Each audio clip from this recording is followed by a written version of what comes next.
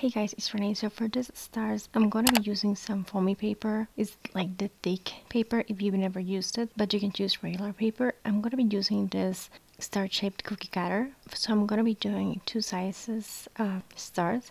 For the big one, I'm going to be using one of those pens that is like thicker, like this, because I'm going to be leaning my pen against my cookie cutter in a 90 degree angle and I'm gonna trace the shape of my cookie cutter. This is just to make the shape bigger. And to make the stars pointy, I'm gonna be taking a ruler, my pen, and just make those lines longer and pointier by doing this and then cut it. For the smaller star, I'm gonna be tracing the actual shape of my cookie cutter and then do the same thing with my ruler just to make it pointy. If you don't have a star cookie cutter, I'm going to take a picture of this on my blog so you can print it if you want to. These are gonna be my templates and I'm gonna be tracing the final shape into my foamy paper.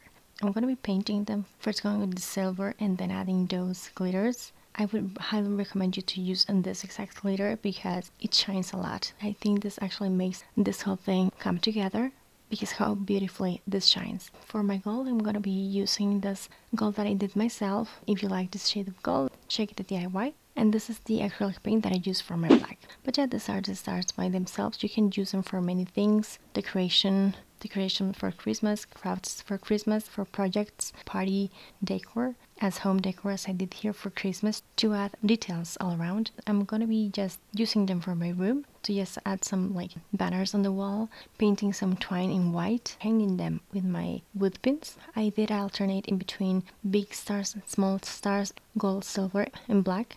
But yeah guys, I just want to share this idea. I was gonna make this anyways and I thought I'd share just in case somebody finds this handy and helpful. I really like how they turned out. Them being different sizes and different colors complement each other. And again that silver if you can get it I think it made the whole thing come together. I think it looks super cute so shiny and sparkly. I really like them. Hopefully you like them too. If you did don't forget to give this a thumbs up. Let me know down below Check out more DIYs like this one that I have on my channel. Subscribe for more. Thank you so much for watching. I'll talk to you later and take care. Bye.